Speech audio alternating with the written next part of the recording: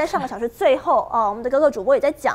这个很不像我们了解的苗博雅，他后面一定想要包藏一些什么样的观点，让大家延伸阅读，只是大家都解读错误了哦，变然是完全在讨论说到底谁穿什么 EQ 啊，怎么样怎么样，已经完全打偏了。可是黄杰现在试图想把整个战场倒回来，他说一百万说不清，那徐小新带的劳力士钻表没有申报，还能够年增四百一十五万的收入，难道是不吃不喝吗？遇到钱就讲不清，脱衣服也无法从这钱的争议脱身。他说：“对啦，每个人是有买奢侈品的自由，可是早餐店女孩六年后摇身变成劳力士女孩，全身名牌，钱从哪来？更说金流越来越可疑了。请问是否都有依法申报，还是说巧心后来会说那都是假货呢？可是打脸打得很快，我们来看政客爽帮大家调出来的数字，好不好？”黄杰在批人家的财产申报，可是黄杰自己一百一十一年申报的时候，总总财产哦，那是这样子，我们看到的。然后到了一百一十二年申报，你知道这一年当中他的资产增加了将近三百万，不遑多让啊。那你要怎么去讲呢？我们也没有去质疑为什么黄杰你可以在市议员的期间就增加三百万，那你还要去给他套上一个早餐店女孩，明显的想要带风向嘛，郑委员。当然是带风向了，而且目前为止你会不会看到啊？这绿营只要是蹭到小心，它的流量都会暴增。那不管这就是媒体生态，我就觉得非常悲哀的地方。不管是是非，只要能够有流量，大家就觉得直接往上去加码。而且不管是非到底是如何，不管真假是如何，现在连人家的出身、人家的身高、人家身上的每一样东西，你不要忘记，讲话的人跟评论的人都是民意代表。黄杰是民意代表，他评论巧心是民意代表。如果你们两个在不管是包括内政委员会的陆配到不了四年到六年，我还宁可你用意识形态彼此在这个执询台上，或者是在这个媒体上面彼此互相做论证。你今天都不是，都歪楼到从一个最单纯的一件的事情，现在连姻亲的姻亲，我的天呐，拜托，我今天看看到他们提到说徐小新的。这个大姐的姐，她的姐夫的姑丈是一个这个犯罪集团，我都不知道说那个时候巧心到底进有没有进入到我们国民党的青年团。那时候巧心是不是已经从政？都已经八百年前的事情，你可以把它扯在一堆。那现在更是，我觉得对于这个早餐店的女孩这四个字，我觉得是有点 disgrace 巧心的出身。早餐店女孩怎么样？早餐店的女孩巧心的每一笔，她的政论节目，还有包括非常多的部分，她每一场每一笔的部分都是她自己赚来的。难道早餐店的女孩就不值得能够买一些衣服对她好一点吗？更何况你们这种非常嗜血性的一个搜索，我觉得这一点对我来说一点都不惊讶。我刚开始到高雄去选举的时候，你知道有一些的媒体是捅我腿一直拍到上面，我说到底他在拍什么？原来他把我过去脸书里面有一些。这个所谓的 mark 的东西，他全部把它条列出来，我都还不知道我穿过哪些衣服或做什么事情，所以这已经不是在巧心身上，我们之前就曾经被这样的被处理过了。所以我觉得你不讨论我脑袋瓜里面的东西，讨论我脑袋瓜外面的这些东西到底意义在哪里？那你今天不是就在探讨巧心他为什么会这样惹入这个部分？他现在已经歪楼到已经没有人在管。到底他的大姑到底发生什么事情？已经管到巧心，到底他的身材到底撑得起撑不起这些名牌？我真的觉得真是傻眼了，已经歪楼到一个层面了。但是你说对巧心有没有伤？我觉得他心灵上应该会有一些的小小的一个影响。虽然巧心是这么样坚强的女生，但是她今天不是谈到巧心自己所处理的事情，巧心她自己所做的每件事情，这是她的附加。这个女生嫁了男，嫁了之后，婆婆公公的面子，还有先生的姐姐，都是属于姻亲的一个关系。身为一个，她是我们屏东的媳妇，所以我很清楚啊。身为这样的部分里面，她过去不愿揭露，或许有她自己的压力的存在，但不代表她就允许她大家所批评她的，你知情不报。家家有本难念的经，好吧？如果说你可以这样子牵扯到姻亲的话，那我们高雄市长，我们陈其迈他爸爸发生什么事情？你黄姐有托过说过陈其迈一件事情吗？你有？说过吗？那还是直系亲属，你连话都没有去讲。巧心是已经把扯到，我都还讲不出来。那个是我不知道那要怎么称谓，我不知道那什么样的称谓，更何况是八百年前的事情。所以你知道绿营完全已经是杀红了脸。那为什么会去做这样的事情？就很简单嘛，因为巧心过去只要一站出来，只要一揭弊，然后一直要讲到一些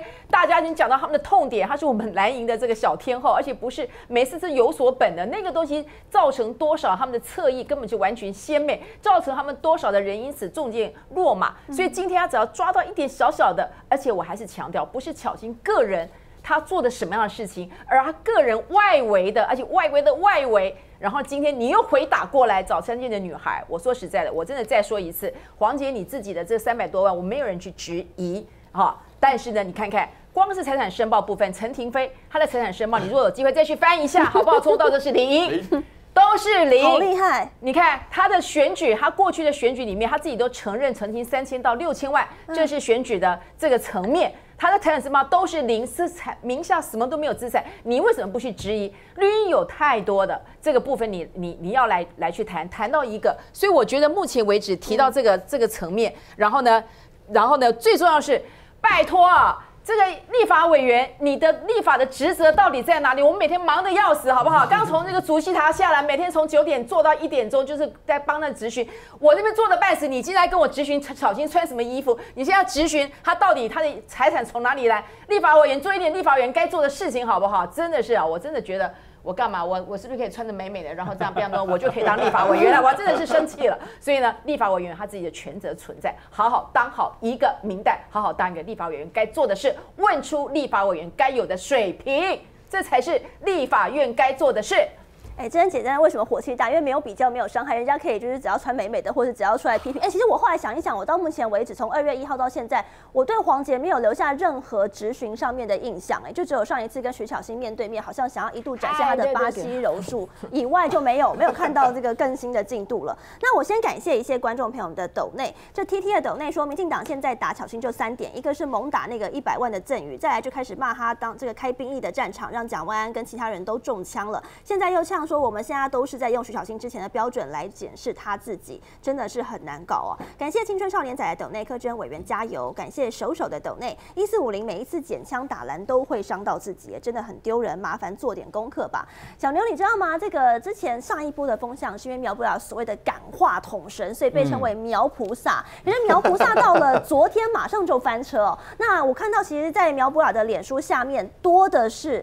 过来踢馆的，我发现这个议题真的打歪了啦，并没有一整片祥和啊，没有大家都赞说苗菩萨又再度的这个 KO 了谁或神罚，没有这个路线哦。那刚刚苗博雅他也出面说明了，我就让小牛听听一下，他呢打了一些开始很奇怪的方向，他说，呃，蓝营的人物不是也常常去检视我们绿营的人物的穿着吗？难道徐小新现在是蓝能你不能吗？然后呢，他还说，那给大家看一下，这是 LV 的衣服的照片，这是徐小新衣服的照片，然后说，你觉得这不像同一件吗？不是 LV。的话，那徐小新，你该不会穿高仿吧？还讲到这种话，甚至还说啊，整件事情我也没有想要说小新怎么样啊，徐小新你没必要这么激动。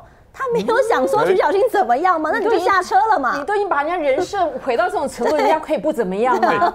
真真姐，你有你有问过人家衣服穿什么样？当然不会，我就说小林很帅，我也很帅，我那我问穿什么？你有问过？你有维维维，你有问过什么民进党？没有哎，反而是因为他们今天还我我从头到尾检视一下我自己不穿什么，不是吧？不，他他这个乱质疑也要有有所本啊。就我们什么时候质疑人家在讲什么就没有，至少在场我们三位都没有那么无聊。就是就是不管在立法院也好，或者在台北市议会也好，这个人民交给我们的工作是好好的监督政府、审核预算，这是民意代表的天职嘛。那刚刚这个。我我都不知道我同事这么这么这么有钱呢？你是不是要重新检视你自己了？这一年暴增三百万，如果你要求徐小英讲清楚，那就大家都来讲清楚。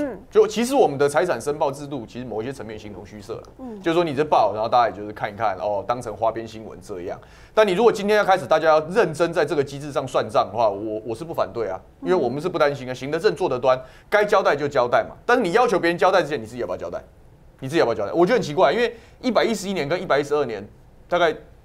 很奇怪吧？因为除非是讲说最近立法委员，尤其是议员转战立委，可能会有一笔比较大的收入的差异，是因为我们从。这个多席次的选区变打单一席次的选区，基本上那个竞选补助款会有一大笔。对，因为一票三十块嘛，然后你大家有些八万票、十万票，可能会有两三百万的进项收入，大概会有这样子的一个落差。可他的是一百一十一年到一百二十一十二年，跟立法委员选举是不同时期哦。对，那你那时候做议员，哪怕你议员连任，大概也就是几十万，不会到。不不不，议员只要三两万多块，两两万而已啊，两万票。两万票嘛，所以你换算成补助款，一票三十块，是不是六十万？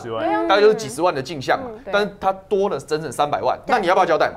那你要不要交代？所以我是觉得，更更何况刚刚智恩姐有讲嘛，就是有有有人到现在财产挂零，财产挂零唯一的可能叫现金低于一百万，就低于一百万可以免申报，这可以挂零。好，规定是这样。嗯可是你觉得有可能吗？一个要选台南市长初选，看板挂了好几百面的人，对对然后他说他的财产低于一百万不用申报，你要相信吗？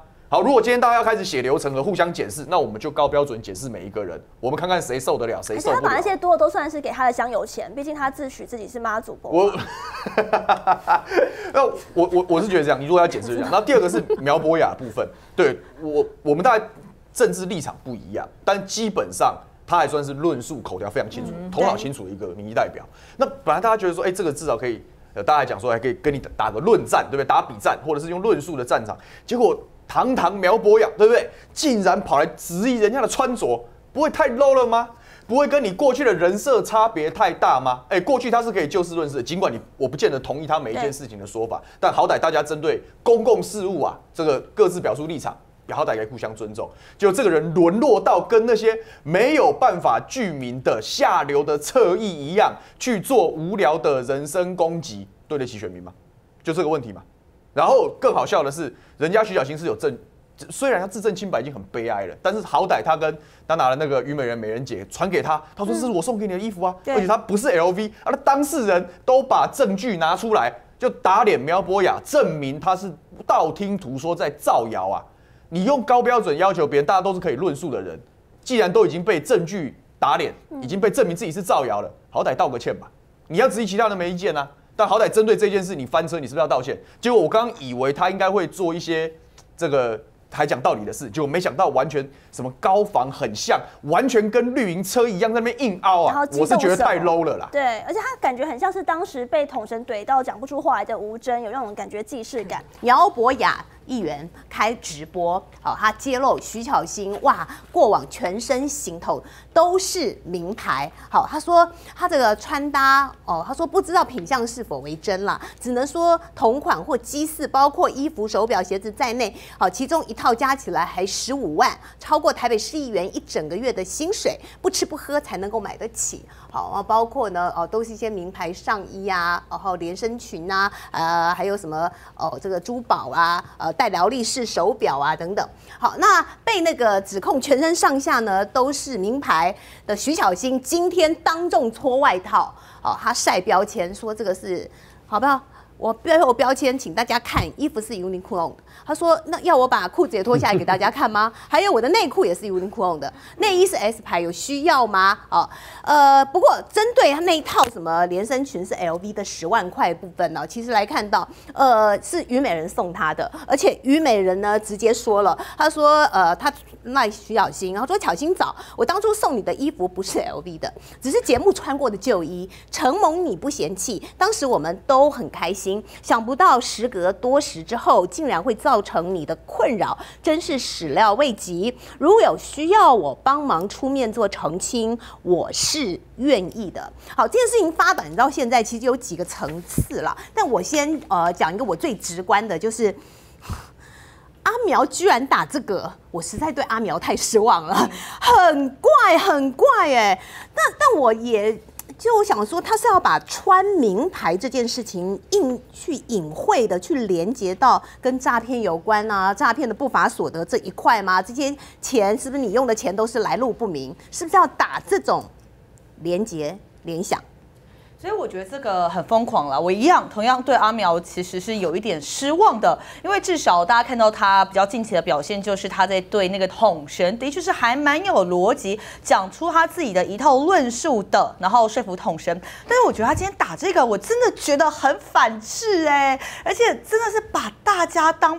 笨蛋，然后其他比较难听的字，我就真的不讲了。首先，这个衣服哦，还打错品牌就算了，很显然呐、真的你就好好当市议员，当个法律专才的市议员就好，你不要当时尚博主，因为你真的看不懂。因为事实上它就不是什么名牌，然后再来打这个东西，你难道你的意思是要说穷人就该有穷人的样子吗？你的薪水低就应该要买只只能买得起便宜的衣服，是这样子吗？那我觉得这种东西你打到底是想要含意含什么？难道在你民进党执政底下，人人都要缩衣节食吗？这才是现在我们应该有的样子吗？不是嘛？小心她不管是当司议员，又或者当立委，还有包含她的老公，事实上他们两个人都是十万块以上的薪水啦，而且他们又没有子女要养，哎，其实两夫妻，我觉得在这样的一个状况之下，可能买好一点的东西犒赏自己，我觉得这是没有问题的，而且事实上根本也没有像苗博雅讲的说什么啊上万块呀等等，所以他首先他的指控就不对了嘛，再来他指控的逻辑也不对。今天我觉得，哎，我在我能力负担的这个状况之内，我买好一点的，我觉得 OK，这没有什么大问题。那你打我这个，难道是说我我今天当个司员，我都要很穷的样子吗？我裤子要穿破的，我鞋子一定要穿开口笑的吗？是这样子吗？不是嘛？那你穿开口笑的，你的服务就会比较好吗？也不是嘛。所以我今天完全。这是摸不透他打这个逻辑是什么。好，那我觉得这件事其实也很双标，因为乱已经开始在乱打了，已经没有招了，所以他开始在乱打，包含连衣服什么都拿出来打。黄杰也是，黄杰已经开始打到说什么啊，你们全家是诈骗世家啊！对对对，我先问一句，黄杰要不要告啊？不，二十四小时他还没有告也到啦，对啊，对他还没有告，快告，他还没告啊，对他还没有告，所以我我不懂他到底是呃觉得告不赢呢，还是摸鼻子就算了？对，有有可能，因为他可能也觉得告不赢啦，因为巧心事实上他第一巧心他的律师也是真的蛮厉害的。那我觉得不管黄杰要不要告，我都尊重他。但是我要讲的是一个民进党全部都是双标，还有包含黄杰，黄杰他今天还是在踩在别人的伤痛上面再去评论这件事情。我先说，大家有没有没有感觉民进党执政这几年来是诈骗案飙升飙增？真的是非常的夸张，非常可恶。台湾已经沦为一个诈骗之岛了。那这一些，包括黄杰，包含吴思瑶，包含你民进党所有的党公职，你不去解决诈骗的问题，然后你来解决这个同样他是诈骗受害者的徐巧芯，那请问你目的为何？只有一个啊，那就是政治报复，就是政治攻击嘛？为什么会这样子讲呢？黄杰如果要以同样的逻辑来看的话，他妈妈之前被质疑什么？被质疑卖大陆的茶，嗯，OK，我不觉得卖大陆茶有什么问题。事实上是因为黄姐她双标嘛，所以大家才会质疑她有问题。好，我这个就不讲。另外还有一个，她妈妈也曾经哦被报道出来是什么，也卖了一个是卫福部认证有争议的产品哦，因为那个产品事实上就是广告不实，它标榜说什么啊可以紧致啊，然后擦了什么是这个呃精神啊，什么脾气啊都会变好等等的，然后这个组织也被大家称为是老鼠会啊，所以如果是按照黄杰的组织，难道我们要去质疑这是老鼠节吗？大陆节或碰红节吗？也不是嘛。所以，如果你都要按照这种双标骂来骂去，其实没完没了。如果民进党今天可以用十分之一攻击这个在野党的力量，好好去解决诈骗的问题，我想今天台湾可以早一步脱离诈骗之岛。好，整个发展呢，其实我觉得非常的荒谬。到今天为止，居然已经是打到徐巧芯的穿搭了。那其实，在几天前的时候，这个立文委员有上我们节目啊，那时候是还是扯说徐巧芯的姑呃大姑啊，因为他们涉洗钱被收押了。那时候。呃，我还记得丽文姐就觉得说这很 low 哎，这有如果跟徐小新没有涉案，没有有什么关系呀，对不对？可是你你今天发展成这个样子，你应该也始料未及的。但是我要讲的是，就算是乱打，会不会乱打也有用？我这么说。呃，中间选民就好了，会不会很多中间选民他其实就看看标题，看看新闻片段，然后你等于是你很容易就被洗印象，徐小新就被洗形象啦。那这时候让我们联想到，比如说像是在中二补选的时候，当时民党打严家洗严宽恒就是这样洗过去啊，硬洗的，有用有用吗？还是说在徐小新这一局会翻会翻车？我觉得是不一样啦哈，因为毕竟那时候严家参参。选的是全台湾唯一的一个补选，并不是全台湾的选举一起选。那所以呢，所有的焦点都放在他们家身上，然后再加上之前的那个陈柏维他被罢免掉，其实是一个很大的一个新闻嘛。那接下来就看严家，也就是这个严宽恒有没有办法有王子复仇记。那我觉得对民进党来讲，他们绝对不可以输。所以这是第一个，就是说关注度是不一样的。第二个，严家也过去的确有一些争议性的过去啊，所以。呢，大家对于严家有很深的一个刻板性的印象，所以严宽恒呢，当时被打的那个事情呢，其实真的也是被民进党无端的渲染跟无限上纲。但是我觉得，因为之前的累积的刻板印象，对他们来讲的确也是非常的不利啦。那跟徐巧芯这个事情是不太一样的，这个是不他。今天就算他穿了名牌怎么样怎么了吗犯了哪一条法呀？如果不偷不抢啊？用自己的钱买的然后？他这个，对呀、他这是我觉得这这件事情就是一直让我觉得他们可以无聊到这种地步吗？就是没有讲不出东西可以话来对就是他想要刷存在感嘛。我觉得这些人就是想要刷存在感，我只能感觉到就是说他们已经没有招了，然后不知道该怎么办了，然后只好这样子恶搞，像刚刚。启胜不是提到了像什么王一川啊这种现在的二宝，现在的这个二丑，你都觉得很不可思议。台湾人还有人要买账啊，讲这么低能的话，有哦，这种对。是，但是我觉得买账的人就是固定那些人呐、就是说永远就是那一些，反正呢你胡说八道，你讲了完全违反常识的话，只要是骂蓝的，只要是骂国民党的，他都相信。你讲的再怎么离谱，再怎么不合逻辑、不合常识，只要是挺绿的，他也都买单。那就是有这种人，那你怎么办呢？那我觉得他们这些人都把自己像苗博雅，他现在到底是他他也不是，他连民进党的党员都还不是不是，不是对呀、那一个就说你做政治要沦落到只找这些人取暖，我并不认为，不要说中间选民，我中间选民，中间选民根本不会去看这些新闻。哦，中间选民只无非是很重大的政治新闻，它会引起他的注嗯意，否则平常大部分人其实不会这么关心这些政治上面的很多的呃攻防啊、细节啊。我觉得大部分人都是在自己的那个同温层里头，或他他忙他自己的生活啊、他的工作，我觉得不会对不会。不会对徐小新造成任何的影响，我觉得他就是这一群人，他已经没有无招可施了，然后他呢也没有办法再去吸引新的选民，然后他只能用这一招。你想想看，当民进党人都用这一招的时候，我觉得他的支持者，他的政治的基本盘是会严重萎缩的。我们说的那样的人，不分青红皂白，违反常识。违反是非、一昧恶挺的这样的人，他本来就有限啊，而且这样子的人随着年龄的增长会逐渐的凋零啊。那你新的年轻人，我觉得大部分的人只会引起人家的恶感。嗯，这个苗博雅，我现在就可以宣布了，他在台北市永远不可能选上立委，这宽追准。徐小新炸顾家的事哦，结果整个案子现在整个歪楼歪到这种，变成徐小新全身上下的行头被检视一番哦。那当然，这个呃，民党是不会放过他，绿营这是穷追猛打，反正就建立欣喜，一直打下去嘛。那可是因为现在有很多人建议说，这个呃，巧心是不是不要再回了，好，再继续跟他们这些人一般见识。那昨天吴家董事长也有讲到说，其实他昨天中午跟徐小新直播的时候，两个人也讨论到这个问题。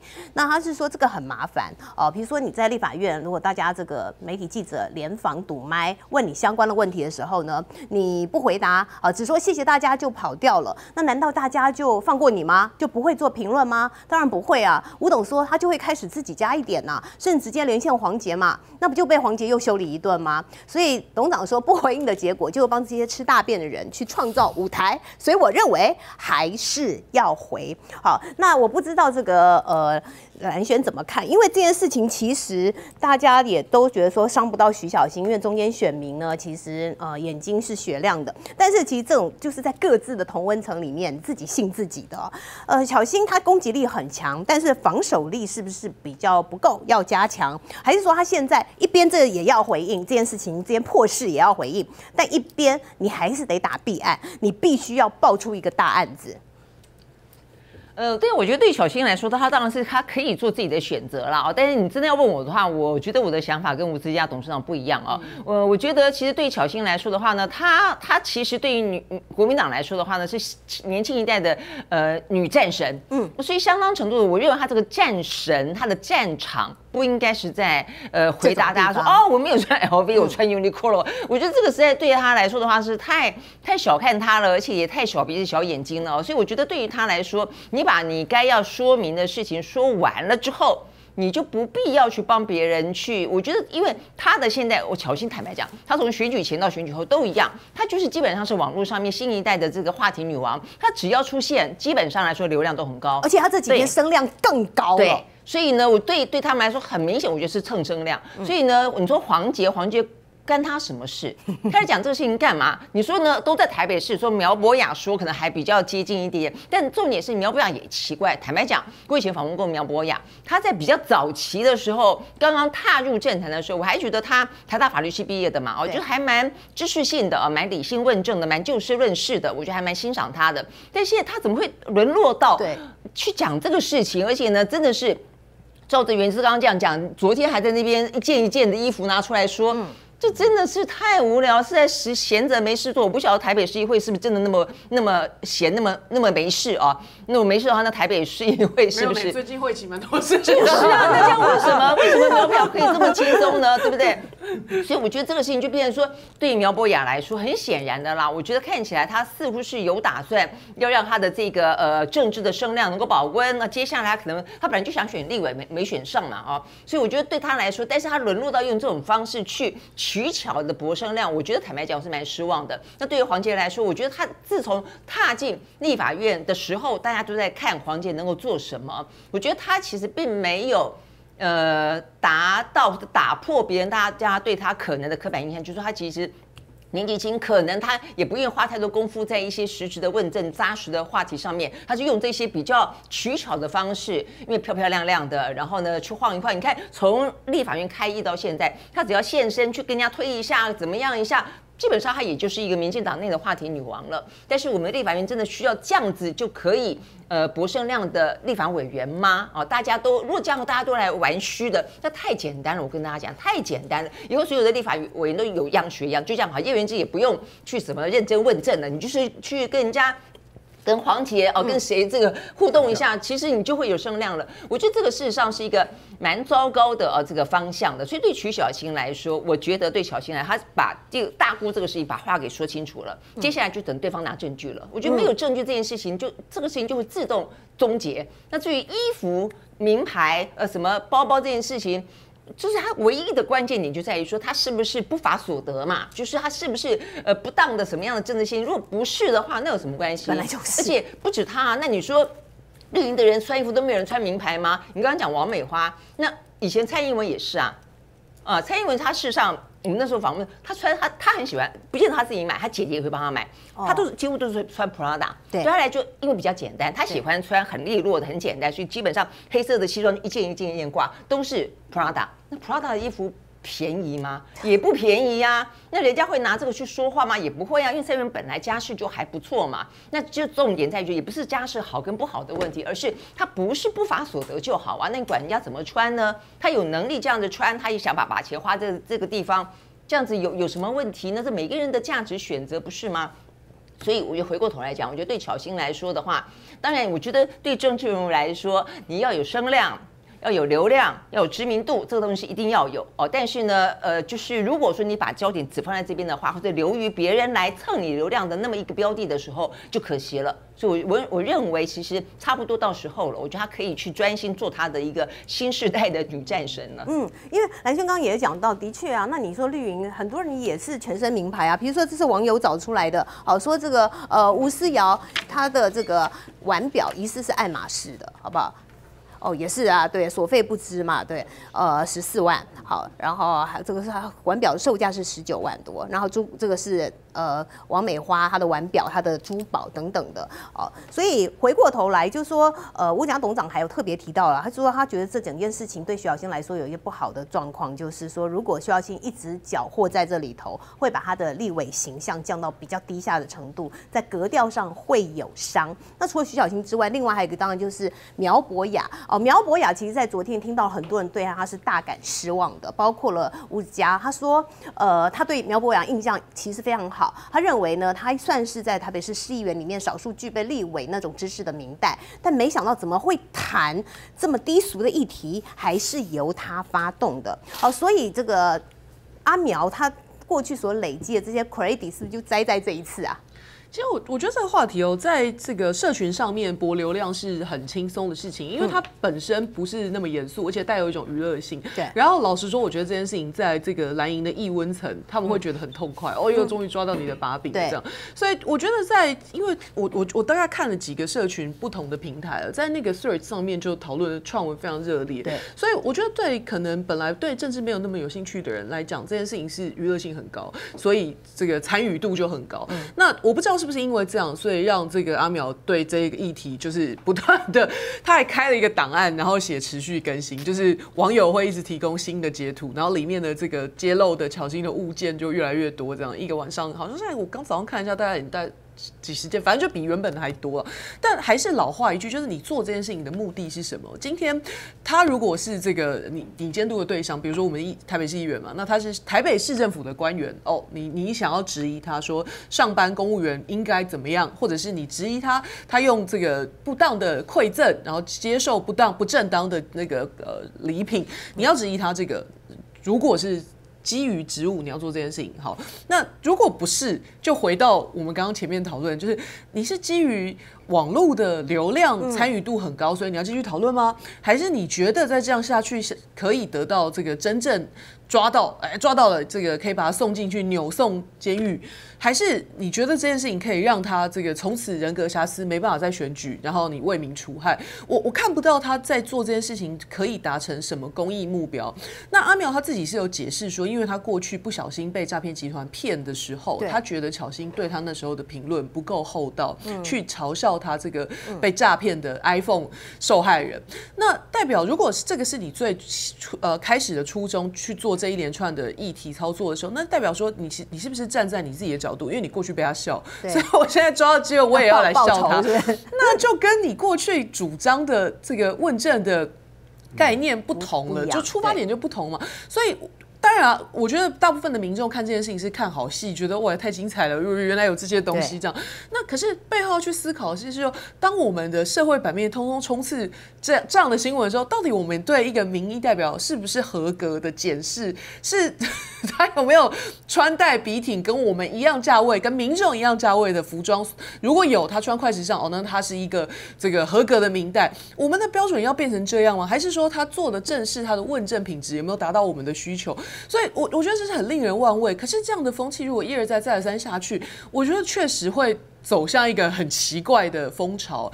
那不过我跟蓝轩的想法比较像的是，是我我其实跟吴子嘉董事长想的不一样，嗯就是这个泥淖不用再把脚伸进去卷了，因为你只会跟着他一起下去，一起对一起下去。那难道我们也要去举例说谁谁谁穿什么什么什么？嗯那档次真的就太低了。所以我觉得这个战场差不多可以关了，就是可以收拾离场。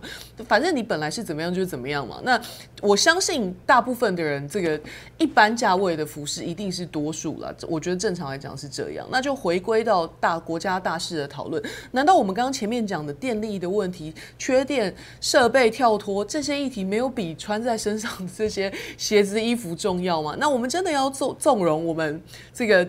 关于政治圈的讨论就限于这些衣服啊、行头的讨论吗？这这，我觉得这是很悲哀的。那如果大家觉得这件事情很痛快，值得花时间版面，大家可以去看昨天新闻，大概就两个，一个就徐小新，另外一个就下大雨，大概就这两件事情。下大雨还民生问题，我们要讨论公共设施。小新衣服到底要讨论几天？我我我其实也不知道。但是但我目前为止看起来，如果绿营不罢手，感觉好像还会再继续卷下去。原来好的益生菌真的可以帮助入睡。太阳星全效克菲尔益生菌是国家认证 AB 克菲尔益生菌，含七种有身份证的专利活菌，能产生伽巴、色氨酸等助眠因子，难怪吃了更快入睡，也睡得更好。太阳星全效克菲尔益生菌也是台湾市场上唯一添加克菲尔乳杆菌 M1 的产品。这是由台湾知名的大学季转，对季节敏感、调整体质的朋友，真的是一大福音。还有这支还添加被称为超级食物的羽衣甘蓝萃取物。不少研究都指出，十字花科蔬菜有助抗炎及防癌，像是羽衣甘蓝含有高量的叶黄素、贝塔胡萝卜素、维生素 K、维生素 C、叶酸等丰富营养素。太阳星全效克菲尔益生菌专利制成，无塑化剂、无重金属、无人工添加物、无四百一十项农药、无香料调味剂、无防腐剂、无色素，七大保证、七大认证，觉得好安心。每日克菲尔时刻美好，Good Feel Feel Good，快点购下单！太阳星全效克菲尔益生菌。